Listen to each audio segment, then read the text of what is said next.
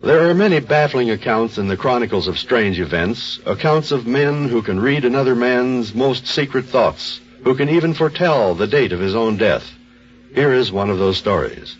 It is the curious tale of an incident in the lives of two great religious leaders.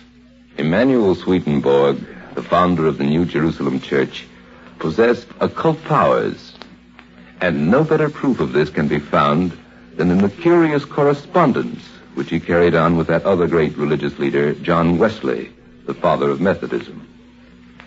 It comprised only three letters, written within a space of a few short days. The first arrived in London on a morning in February in the year 1772.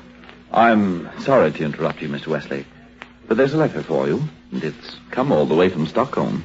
Hmm. Well, I know men in many parts of the world but none whom I can think of in Stockholm.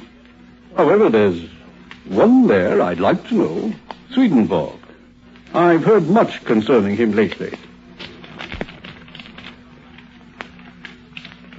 Well, this is remarkable. Listen. Sir, I have been informed in the world of the spirits that you have a strong desire to converse with me. I shall be happy to see you if you will favor me with a visit. Emanuel Swedenborg. Later that same day, John Wesley penned a courteous reply to Emanuel Swedenborg. Sir, I have for some time hoped that I might make the acquaintance of one whose name is respected throughout all the civilized world. However, since I am at this moment engaged in preparation for a six months journey on the continent, I must postpone that pleasure until my return to London. It was on the day Wesley was to depart from England that the second and last of Emanuel Swedenborg's letters arrived. Sir, I deeply regret the circumstances which prevent our meeting. But the time that you propose will be, I fear, too late.